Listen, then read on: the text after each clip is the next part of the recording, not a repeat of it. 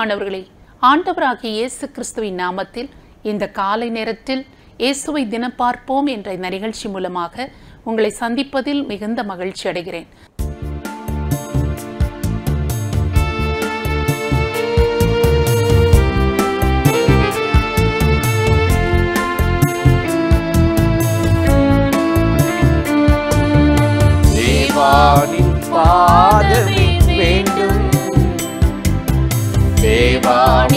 சமூகம் வேண்டும். தேவானின் பாதமே வேண்டும். தேவானின்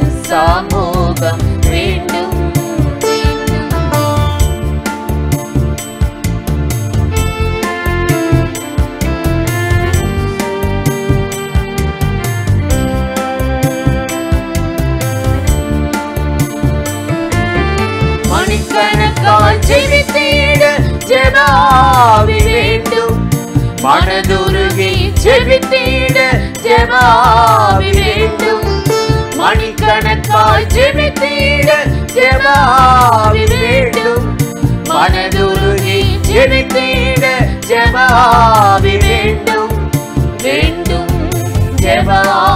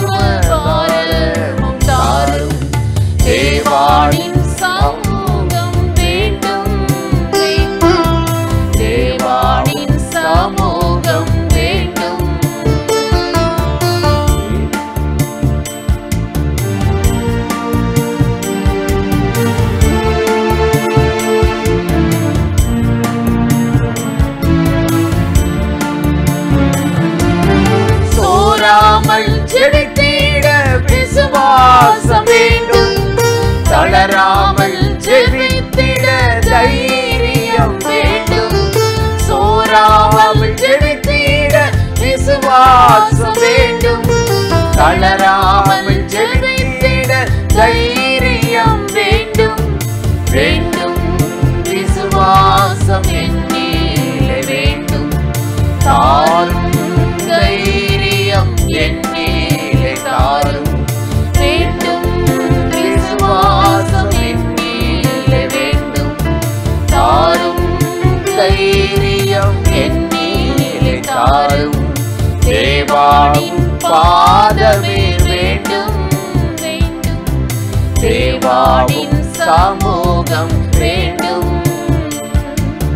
தேவானின் பாதமே வேண்டும்.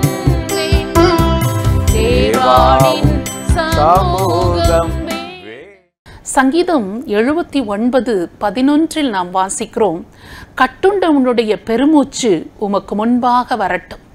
கொலைக்கு நியமிக்கப்பட்டவர்களை உமது புய பலத்தினாலே உயிரோடு காத்தருளும் என்று நல்ல ஒரு ஜெபத்தை இந்த சங்கீதக்காரன் ஏறெடுக்கிறதை நாம் வாசிக்கிறோம். கொலைக்கு நியமிக்கப்பட்டவர்களை உமது புய பலத்தினாலே உயிரோடு காத்தருளும் என்று சொல்லி அவர் ஜெபிக்கிறார். நாளை காலையில் விடிந்தால் அவனை தூக்கில் போடுவார்கள் என்ற நிலைமையில் பேதுருவை சிறைச்சாலையில் அடைத்திருந்தார்கள். அந்த சூழ்நிலையில் கர்த்தர் தம்முடைய தூதனை அனுப்பி சிறைச்சாலையிலிருந்து வெளியே அவரை கொண்டு வந்ததாக நாம் வேதத்தில் வாசிக்கிறோம்.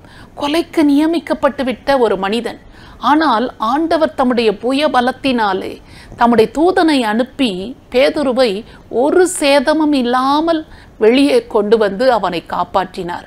சாத்ராக் மேஷா காபேத்தினைகோ பாருங்கள். எரிகிற தீச்சோலையில் ஏழு மடங்கு எரிகிற அந்த அக்கினியில் போடப்பட்டு விட்டார்கள். ராஜா நாட்டின் அந்த பொற்சிலையை வணங்காதது நிமித்தமாக ராஜா ஒருவரை தவிர வேறு ஒருவரை வணங்கக்கூடாது என்று சொல்லி அவர்கள் கட்டளையிட்டிருந்த போது சட்டம் இயற்றியிருந்த போது நாங்கள் ஆராதிக்கிற எங்கள் தேவன் எங்களை தப்புவிக்க வல்லவர். அப்படியே அவர் விடுவிக்காமல் போனாலும் நீர் நாட்டின இந்த பொற்சிலையை நாங்கள் விழுந்து வணங்கப் போவதில்லை என்று அவர்கள் மன உறுதியோடு நின்றது நிமித்தம் அந்த தீச்சூலையில் போடப்பட்டார்கள். அது ஏழு மடங்கு எரிந்து கொண்டிருந்தது. கொலைக்கு நியமிக்கப்பட்டவர்கள் நெருப்புக்குள் ஏழு மடங்கு அக்கினிக்குள் அவர்கள் விழுந்து விட்டார்கள். மரணம் உறுதிதான். ஆனால் கொலைக்கு நியமிக்கப்பட்ட அவர்களை தம்முடைய புய பலத்தினாலே உயிரோடு காத்த தேவன் நம்முடைய தேவன். தேவன் தம்முடைய தூதனை அனுப்பி நான்காவது நபர் அந்த அக்கினிக்குள் உலாவுகிறதை ராஜா பார்க்கும்படி செய்தான். நாம் மூன்று பேரை அல்லவா போட்டோம்? இப்பொழுது நான்காவது ஒரு நபர் அங்கு இருக்கிறாரே என்று சொல்லி பயத்தோடு கூட அவர்களை வெளியே தூக்கிவிடும்படியாக வெளியே வரும்படியாக அவன் கட்டளை கொடுத்தான். சாத்ராக் மேஷாக் ஆபெத்னேகோ அந்த மூன்று பேரும் ஒரு சேதமும் இல்லாமல் அக்கினியின் வாசனை கூட இல்லாமல் முடி கருகாமல் தன்னுடைய வஸ்திரங்கள் அவர்கள் கருகாமல் சுகபத்திரமாக ஒரு சேதமும் இல்லாமல் உயிரோடு வெளியே வந்தார்கள்.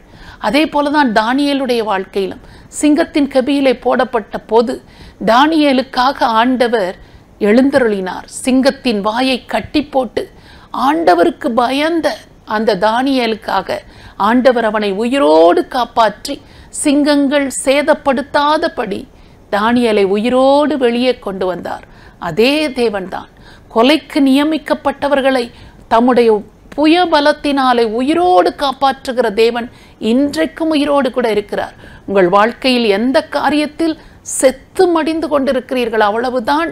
இந்த காரியத்தில் எனக்கு பலனே இல்லை. இனி நான் வாழ்வேனா எனக்கு புரியவில்லை. இந்த கடன் பாரம் என்னால் தாங்க முடியவில்லை. இந்த குடும்ப பிரச்சனை பிள்ளைகளால் வருகிற உபத்திரவம் இந்த வேதனைகள் வழியாக நான் கடந்து போகிறேன். இனி நான் பிழைப்பேனா உயிர் வாழ்வேனா? இனி ஒரு அடி என்னால் வைக்க முடியுமா? எனக்கு தெரியவில்லை என்று சொல்லி கொலைக்கு நியமிக்கப்பட்டவர்கள் போல செத்து மடிந்து கொண்டிருக்கிறீர்களா வாழ்க்கை போராட்டத்தில்? பிரச்சனையில் கண்ணீரில் கவலையில் துயரத்தின் பாதையில் வேதனையோடு கூட போய் கொண்டிருக்கிறீர்களா? உங்களுக்கு ஒரு ஆண்டவர் இருக்கிறார். உங்களுக்கு ஒரு அன்பர் இருக்கிறார். அவர்தான் ஆண்டவராகிய இயேசு கிறிஸ்து. அவர் இந்த கொலைக்கு நியமிக்கப்பட்டிருக்கிற இந்த நிலைமையிலிருந்து செத்து மடிந்து கொண்டிருக்கிற இந்த நிலைமையிலிருந்து உங்களை ஒரு சேதமும் இல்லாமல் உயிரோடு காப்பாற்றுகிறவராக வெளியே கொண்டு வருகிறவராக அவர் இருக்கிறார். அவரை நோக்கி பாருங்கள் அவரை நோக்கி ஜெபம் பண்ணுங்கள் நம்புங்கள். அவர் உங்களை காப்பாற்றவும் தப்புவிக்கவும் இன்றைக்கும் அருகில் உயிரோடு கூட இருக்கிறார். உங்கள் அருகில் தான் இருக்கிறார். அவரை கூப்பிடுங்கள் அவரால் உங்களுக்கு உதவ முடியும் நன்மை செய்ய முடியும். எந்த விதமான அடிமட்டத்தில் நீங்கள் வேதனைப்பட்டு கொண்டிருந்தாலும் இதெல்லாம் யாராலும் முடியாது என்று நீங்கள் எண்ணிக்கொண்டிருந்தாலும் இயேசுவால கூடும். உங்களுக்காக ஒரு அற்புதத்தை செய்ய அவர் இன்றைக்கும் உண்மையுள்ளவராக உயிருள்ளவராக இருக்கிறார். ஆண்டவரை நோக்கி நாம் இப்பொழுது ஜெபிக்கலாமா? பரிசுத்தமுள்ள நல்ல தகப்பனை இந்த அருமையான நேரத்திற்காக நாங்கள் உம்மை நன்றியோடு ஸ்தோத்திரம் பண்ணுகிறோம். உம்மை துதிக்கிறோம். கட்டுண்டவனுடைய பெருமூச்சு உம்முடைய சமூகத்தில் வருகிறது. ஆண்டவரை கொலைக்கு நியமிக்கப்பட்டவர்களை உம்முடைய புய பலத்தினாலே உயிரோடு காத்தருளும் என்று சொல்லி சங்கீதக்காரன் ஜெபித்தது போல யாரெல்லாம் தங்கள் வாழ்க்கை பிரச்சனைகளின் நடுவிலே செத்து மடிந்து கொண்டிருக்கிறேன் கொலைக்கு நியமிக்கப்பட்டது போல மடிந்து விடுவேன் என்ற நிலைமையில் நான் தள்ளாடி கொண்டிருக்கிறேன் என்று கலங்கி கொண்டிருக்கிறார்களோ அவர்கள் ஒவ்வொருவர் அருகிலும் சென்று அவர்களை நீர் உம்முடைய புய பலத்தினாலே உயிரோடு காப்பாற்றும்படியாக அவர்கள் சந்தித்து வருகிற அத்தனை போராட்டத்திலிருந்தும் பிரச்சனைகளிலிருந்தும் கண்ணீரின் பாதையிலிருந்தும் அவர்களை விடுவித்து வெளியே கொண்டு வரும்படியாக உமை நோக்கி நாங்கள் ஜெபிக்கிறோம். எங்கள் ஜெபத்தை கேட்டு ஆண்டவர் அவர்கள் செத்து மடிந்து கொண்டிருக்கிற ஒவ்வொரு காரியத்திலிருந்தும் நீர் அவர்களை உயிரோடு காப்பாற்றி ஜீவனுள்ள தேவனாகிய உம்முடைய நாமத்தை மகிமைப்படுத்திக் கொள்ள வேண்டும் என்று இயேசு கிறிஸ்துவின் நாமத்தில் ஜெபிக்கிறோம். நல்ல பிதாவே. ஆமேன். இந்த நிகழ்ச்சி உங்களுக்கு மிகுந்த ஆசீர்வாதமாக இருந்ததா? நீங்கள் பெற்ற நன்மைகளை எங்களோடு கூட பகிர்ந்து கொள்ளலாமே. மற்றவர்களுக்கும் ஷேர் பண்ணுங்கள். கத்தர் உங்களை ஆசீர்வதிப்பாராக. ஆமேன்.